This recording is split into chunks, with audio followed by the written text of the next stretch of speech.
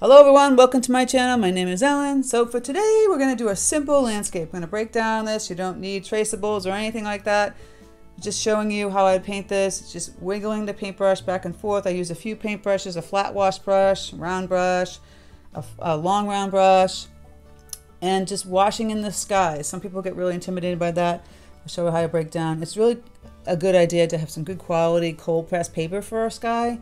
And that's why you're probably not having really good you know outcomes with your skies because it's probably not a good cold press. Um, yeah, and I'll break down how to do like the little simple reflection here as well. If you have any questions, please leave in the comment section and I'll try and answer them. Um, also, check out my Patreon. I have ad-free videos, traceables, exclusive tutorials on Thursdays that are longer and more in-depth than they are on YouTube. I also have a live stream in the top tier where you can ask questions and go over things.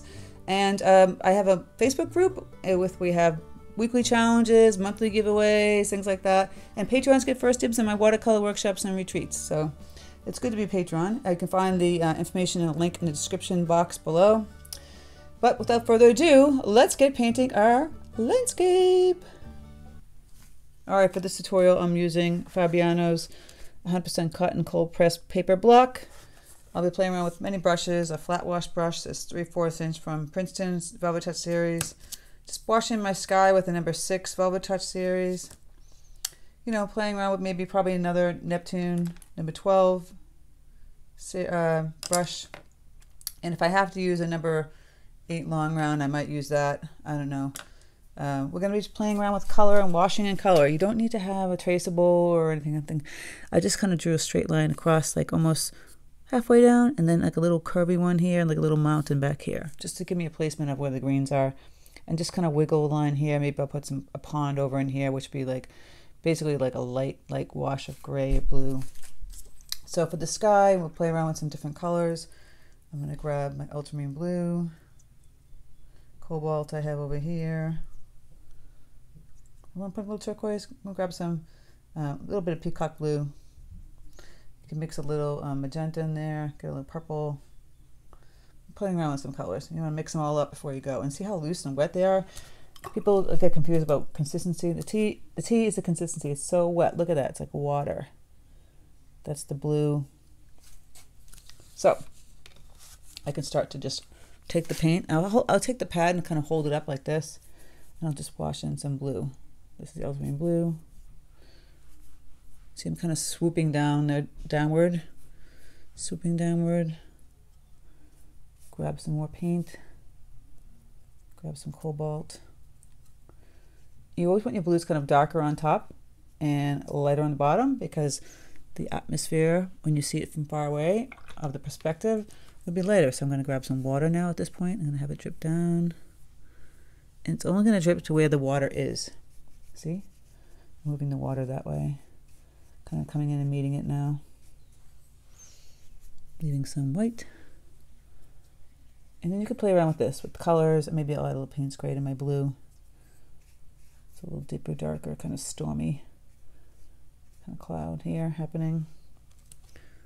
Kind of moving it downward and leaning it. I'm just kind of taking some of this paint off the paper.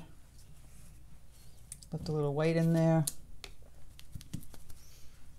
It's very light on the left side. Go, go go back and grab a little bit of more color. Just gonna put in some of that in here. Don't fuss with it too much. Ultramarine blue, Payne's gray. It's always, like I said, darker on top. Just gonna put a little dark here and we'll bleed downward. And we'll have a nice little sky. Look at that. You always want to keep it light towards the bottom. I'm going to lift up some of this excess paint and tap it back on my paper towel. And I've created my sky. Don't fuss it too much. Now I've got a little paint kind of puddling in here that's kind of dark. Just going to kind of remove that. If I want to go back and make a little bit darker, I might go back and one more swipe up the top with the gray and the blue. Really going to want to mix them up. If I want to add a little purple in there, for effect. Let's swipe down. Boom. just trying to get that darker, stormy kind of cloud look. I would bleed a little bit. I don't like these little lines that are happening. I want to make it one big swoop. And I think that's good enough. If you want it light over here, because maybe it's sunny coming through, you might want to lift a little paint. I'm going to lift some of it over here and down on the bottom. Again, don't fuss with it too much. We want to have our pretty sky. Ta-da! Now, the water will reflect the sky a little bit, so take the colors we just used, kind of put it in here. I'm going to have a little waterway here. Zigzag, like a little pond.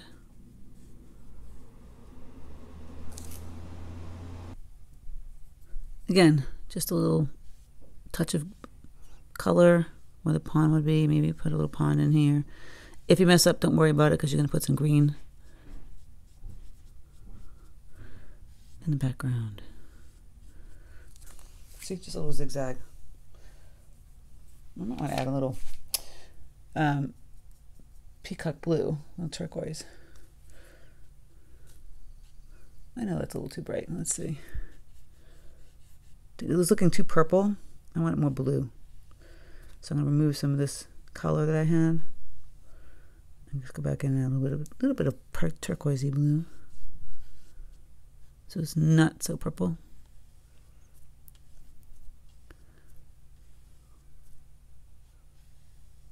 There we go. Boom. Just a little wiggle effect. Doesn't have to be perfect. And that's kind of all it. We're going to let that dry. We're going to make it like mountains in the background. The purple kind of color tones. And we get some bright chartreuse kind of green going through here. And that's, you don't have to make landscapes that complicated. They're really just not that complicated. Just putting down color and washing it in. So now I'm going to mix up some greens. I take my cadmium yellow deep, peacock blue for a nice bright green. Now you heat me going back and forth in the water.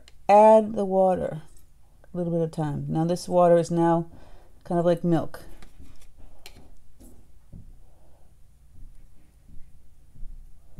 And so it's bright, bright chartreusey color, very loose. I'm to grab my flat wash brush. By the way, you should have some other colors mixed at the same time, so it's good to have all the greens mixed up at once.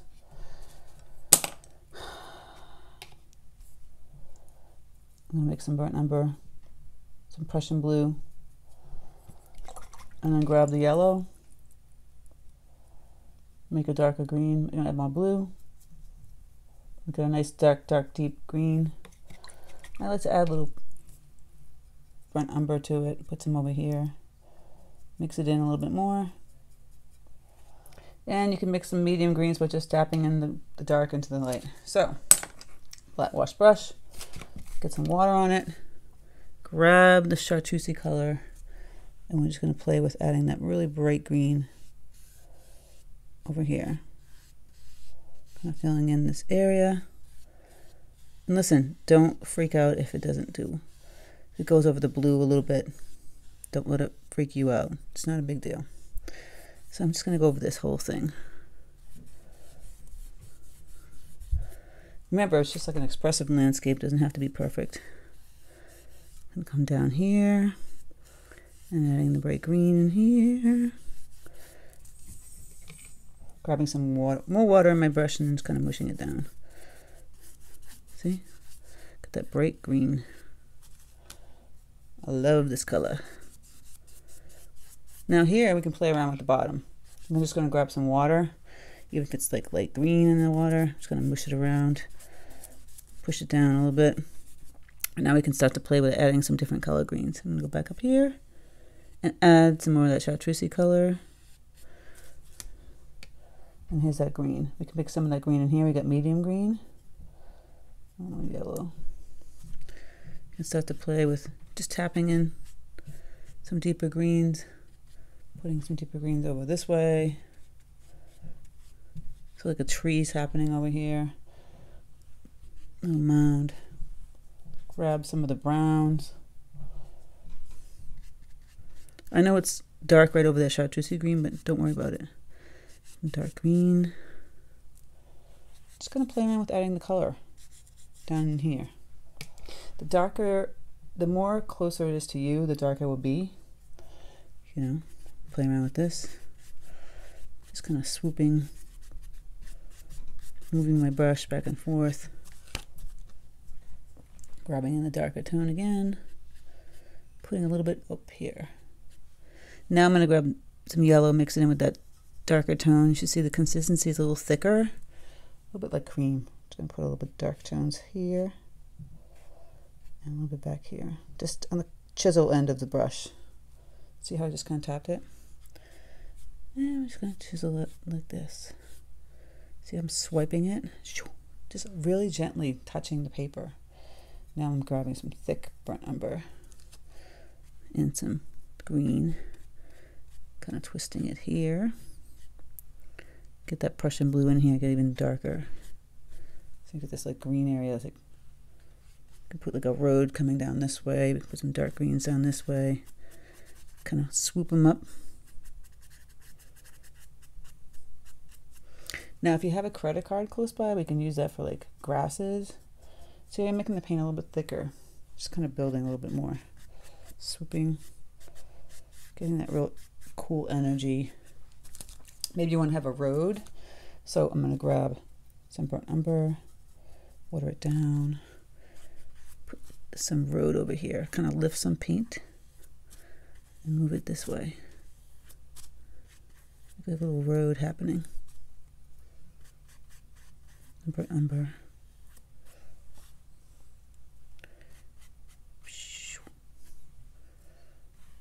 This little road this way. coming out to this area. Just some little dibby dabs. Some trees on the side of your brush. So I've just made some green.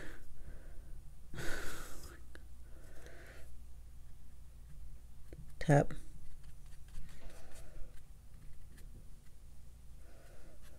And then again, just taking your brush and kind of swooping it. Mm. Just have some fun with that. Little, little tippy taps. I'm going to add a little more brown to this. Again, it's thicker paint now. Hold the chisel on the side. Maybe you can put like a tree, kind of make like a tree happening here and here.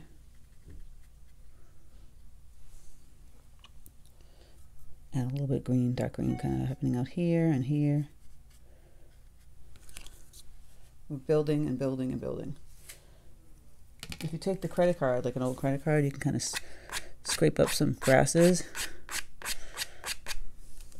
let's have fun just kind of mushing in some some grasses with like a little brush here. This is the Princeton 8 long round. Kind of like what I did with my um, wildflowers and just kind of wiggling the brush back and forth. Grabbing some brown and some Payne's gray. Just get the energy out. Get all the energy out. Ah, take it out on the paper. it's kind of fun, right? Take it out on the paper. I got some splatters in here, but that's okay. Get some brown happening here with the grass. Tip, tip, tap. That area. See? It's like a little pond now. We haven't even got to the back mountains yet. I'm just going to go like back and forth here with a little green. I have the Princeton 8 long round. But really, you don't see me doing anything crazy. I'm not just kind of wiggling back and forth to make these grasses, grabbing some browns, thick paint, mix it with the greens, back and forth. Just getting some energy. We even Payne's gray, kind of throwing that in here. We want to have some fun with this. Doesn't have to be perfect. Energy. If you want to just take your brush Grab that bright yellow again. Go in here and have fun. We're having fun with this brush. We're just kind of mushing things around. Grabbing the pink. I mean, excuse me, pink.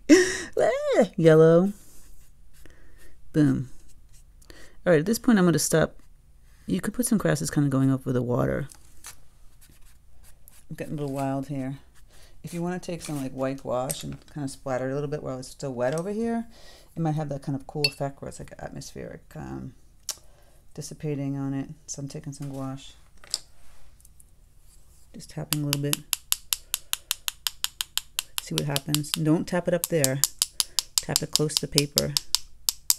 Only in the wet areas. will have a cool effect. Right? How simple is that? Now we're going to work on this, this mountain up top. Going to move some of this green. And I'm just going to grab like ultramarine blue and some magenta or if you have like bright rose, is bright rose. Just make like a nice purple, bluish purple. I'm gonna water it down. I always tap it on my paper towel and we can start to put in the purple color in the background where the mountain would be. Right, a little mountain back here. Might want to add like a little reddish brown in some other areas. It's purple. I'm gonna take a little bit of magenta, a little paint, um, burnt umber. So it's like a reddish brown. I'm gonna water that down a little bit and put some like over in here. Another layer of the mountain. Just having fun. See? Just changes it a little bit. Might want to make this purple a little bit deeper. So I'm going to add that magenta in with this purple and go back and add some ultramarine blue so it's a little bit darker. Not too much though. I'm just playing with the little mountains here. Add another one back here. Look at that. Already it's so cool. Right? So we can start to play with adding in some thick yellow, like just like almost like a yellow paint here. So it's kind of like a meadow with flowers. Grab whatever brush you have that's convenient. I'm going to grab my 12 aqua Aqualite. Now this might be still damp, but you can start to just tippy tap. Tippy tap means just tapping the brush. Little yellow flowers. Those are really bright, but it's really thick. It's kind of cool. We have some nice little meadow happening. Get a little thicker. You want to splatter it if it's small up front a little bit.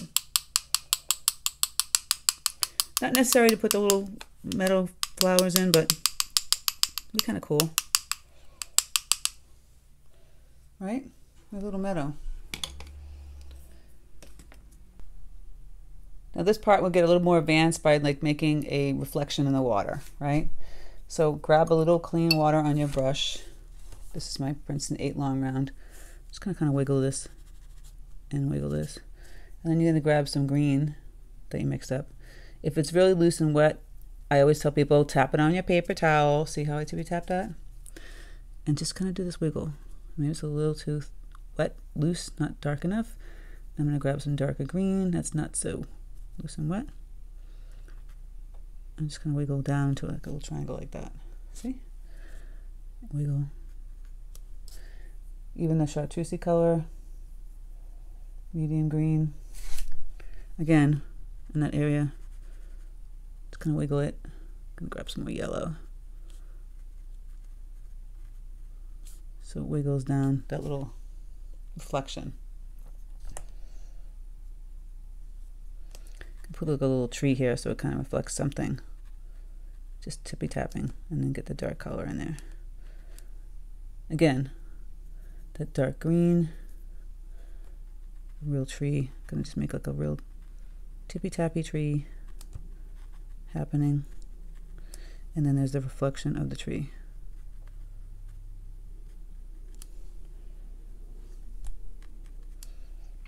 Something just really kind of simple. Don't have to reflect a lot. Just something simple like that.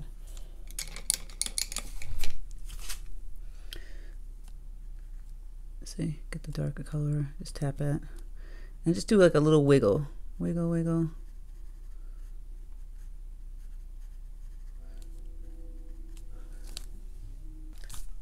Might want to do a little bit out here. Not too much. So it's reflecting the little green a little bit here.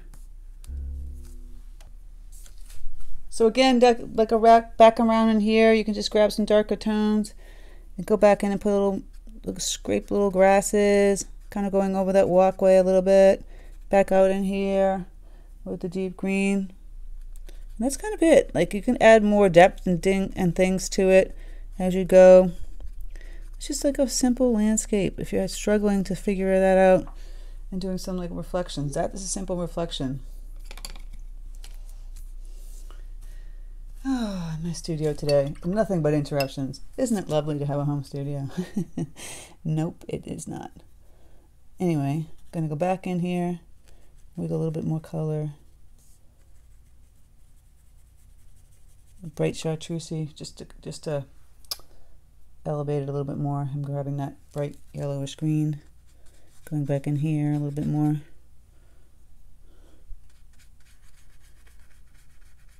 And that is that.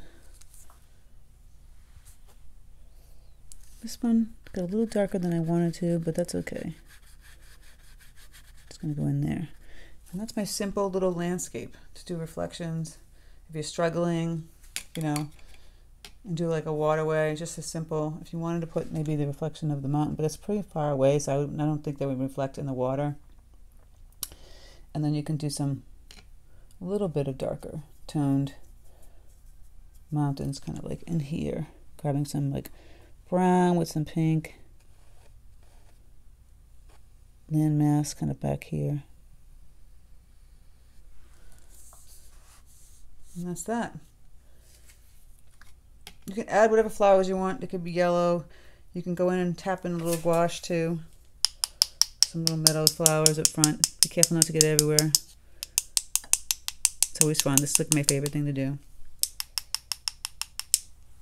And that's it. That's your simple landscape. You know, don't you can want to add a tree in here. There's so many videos on trees. Put like a little house back here, all that good stuff. So I hope this was fun. I hope you enjoyed it. I hope you don't get freaked out. Don't get you know intense about just putting down the color. Just a simple wash of the bright green. You're bleeding in some darker greens. If you want to have a walkway here, you can like a little brown walkway. The, the mountains in the background all that good stuff. I might want to add a little more brown here for my walkway and some depth by having a shadows. It's up to you. Here I'm adding some Payne's Gray in with that brown walkway back here as it goes in the back a little bit. Right?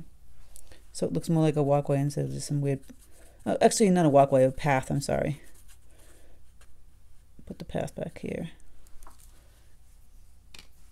You don't even have to have a path. It's up to you.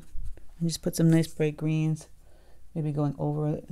All this fun stuff, see? Woo. You can take the yellow like right out of the tube, mix it with your greens and kind of go right over that. It's fun. You'd be surprised if you're grabbing some watercolor right out of the tube what it does. There you go. All right, guys. Thanks so much for stopping by my channel. I hope you have a fantastic day. Take care, and I'll speak to you soon.